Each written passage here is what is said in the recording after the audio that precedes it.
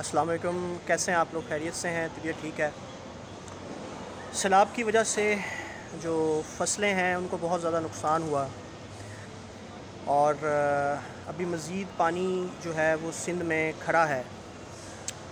तो आगे इसमें मज़ीद फ़सलें भी उगाई जाएँगी और आगे गंदम की जो है, वो फ़सल उगनी है। तो ये एक बहुत बड़ा क्राइसिस है, जो आने वाला है आगे इजनास के हवाले से। तो इसके लिए तोबा इस्तफ़ार की जाए और अल्लाह पाक से मांगा जाए, तस्बीहात की जाएँ पुराने पाक की तलावत की जाए और अल्लाह की तरफ़ पूरी कौम मतवजह हो कि ये जो हालात आए हैं और आगे मज़ीद आने वाले हैं। ये जो नवंबर, दिसंबर, जनवरी के जो महीने हैं, ये बहुत मुश्किल हो जाएँगे जो नज़र आ रहा है। सो लिहाजा पूरी कौम अल्लाह की तरफ़ मतवजह हो, तोबा इस्तफ़ार हो, नमाज़ों की पाबंदी हो, रातों में उठना हो तहजद में।